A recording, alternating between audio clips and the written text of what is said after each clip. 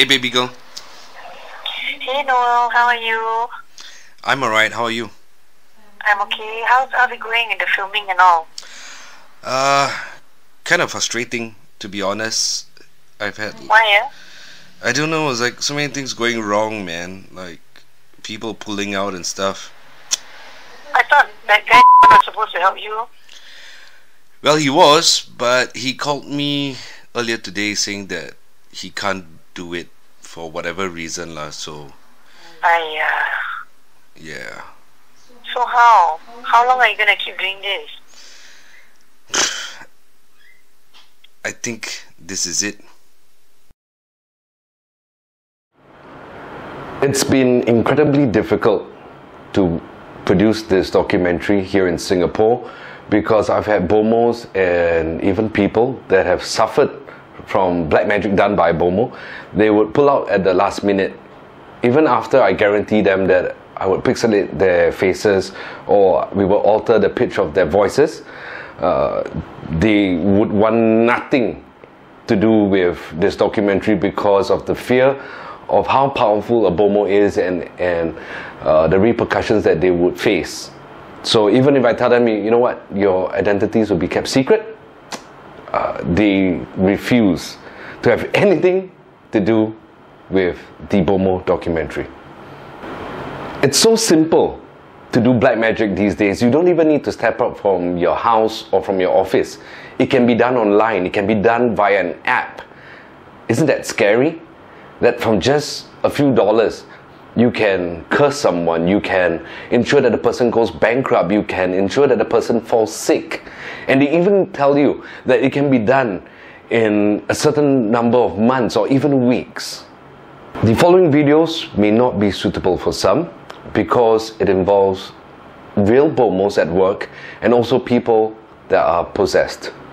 We do not know whether these people are alright after the rituals, but of course, we hope that they are.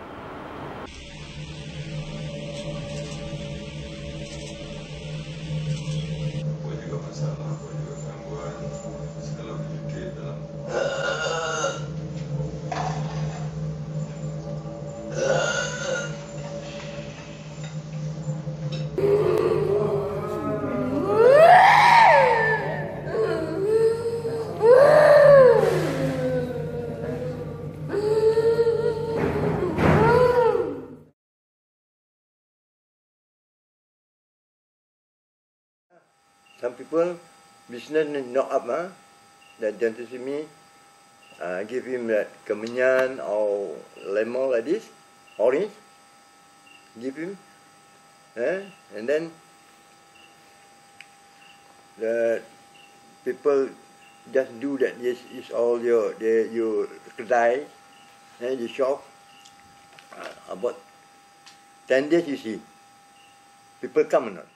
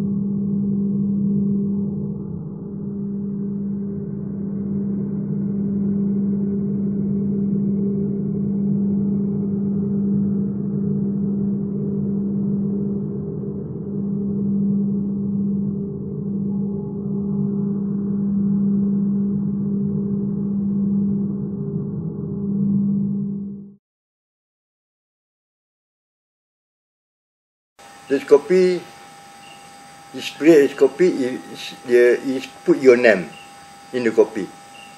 And then, this, kita panggil jampi apa? Free eh? Free the copy, just call your name. And then that coffee give you give you to drink. Then you, you drink a coffee and some some girl lah, like you are, you don't like that girl. Then that girl just going to jumpa bomo, just pray the coffee, give you drink, and you every day you ingat that girl. Every day you want to see that girl.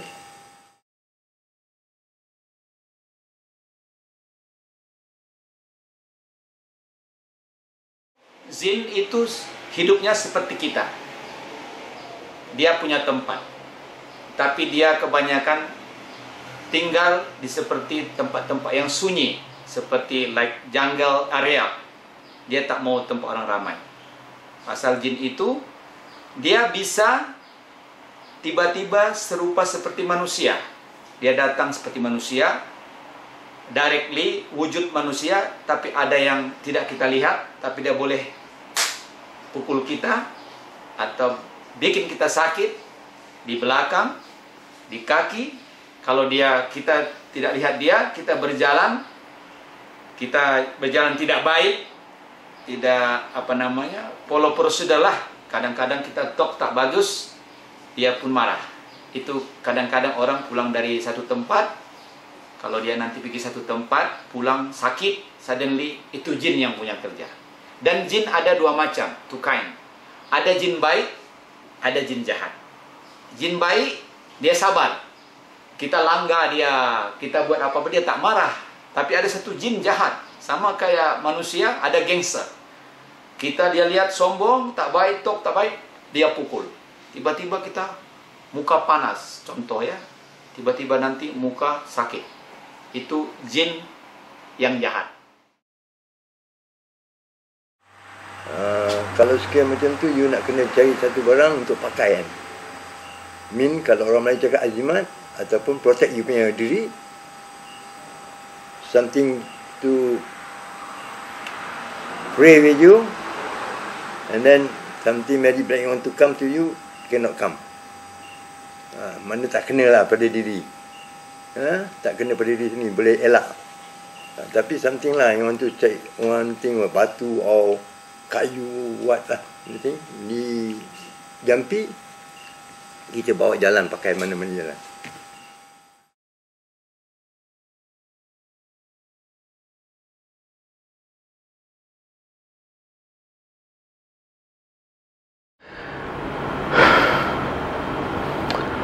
this is really hard for me to do.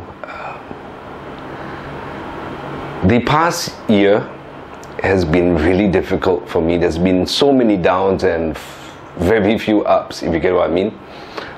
I don't know if it's related to whatever you watched in part one with the Bomoh and whatever that was revealed, or it's related to my paranormal work. Now, I started my paranormal work about nine years ago, and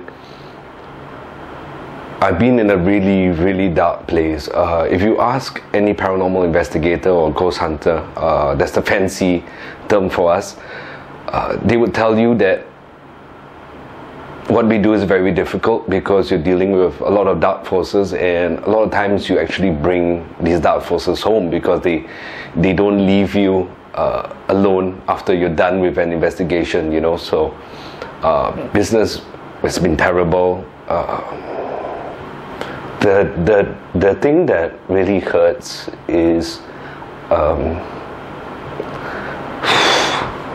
okay you put you put work aside and uh, to me I'm, I'm a very private person okay? Besides uh, anything that I post on social media I'm actually a very private person and to me uh, friends mean a lot uh, family. And of course you know you guys saw saw Gabby. Uh, she's my fiance and she was with Ghostwatch, right? And to me, the last straw was a few months ago, and we were at home. We woke up. I told her I'm going to cook for lunch, and I was in the kitchen, and she was lying in bed, and she felt something lie next to her in bed. Okay, and that totally freaked her out because it was it wasn't me, it wasn't an actual person. Uh, it was an entity, and we were arguing a lot for for no reason. Uh, the energy in the house was horrible. Uh, and when my father died a few years ago, it was tough because I would be seeing a lot of stuff in the house. And yeah, it's just really, you know, it's very difficult for me to let this go because Ghost Files Singapore uh, is my baby. Built it up from nothing. And I always feel that I owe the viewers a lot, you know. Because when I'm out, people are always asking me, bro, when's the next episode? So I feel that I'm I'm letting a lot of people down. But in essence, I know that I'm doing what's best for me because ever since I stopped ghost hunting, it's been been a, a good few months now, and, and, I'm in a better place. I'm no longer depressed. I'm no longer um, angry for no reason. I'm not out drinking my life away. You know.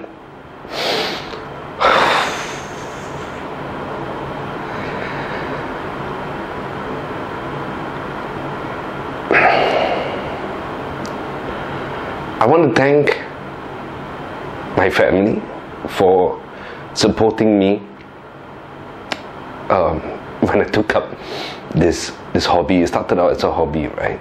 As a ghost hunter, it, it, it definitely wasn't easy for them. Uh, it definitely wasn't easy for uh, my late father, you know, my mom, and of course Gabby, you know, she stuck by me. She wanted to be a part of this, of this thing that was huge in my life, you know, ghost hunting. So she joined Ghost Watch, and then she, after a while, she didn't want to do it anymore because that's how legit this is. This is how legit uh, the show is. You know, we, we never faked anything on the show, right? We we we never dramatized any of our episodes.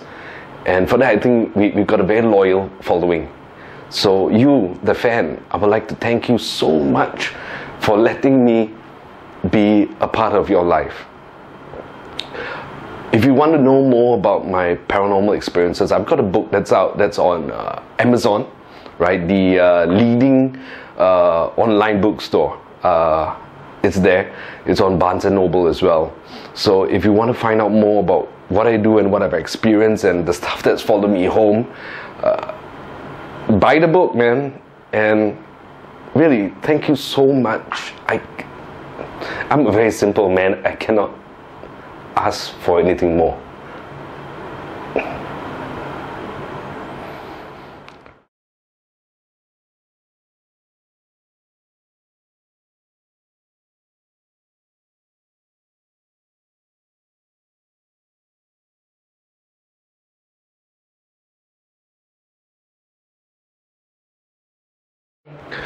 So your question will probably be what's next for Noel Boyd? Well, we are working on a paranormal podcast that is going to hit really, really soon. Uh, so look out for that. And I'm going to continue emceeing. That's my love. You know, I love being on stage. So if you have a corporate event, hit me up. We'll see what we can do. And for the folks that have been writing to me, that's something I'm really, really bad at. I'm trying to improve, but I take a long time to reply, but I would do my best to, to reply to the fan mail soon. Once again, I'd like to thank everyone for watching Ghost Watch and also Ghost Files Singapore, and of course for watching this documentary. This is Noel Boyd signing out.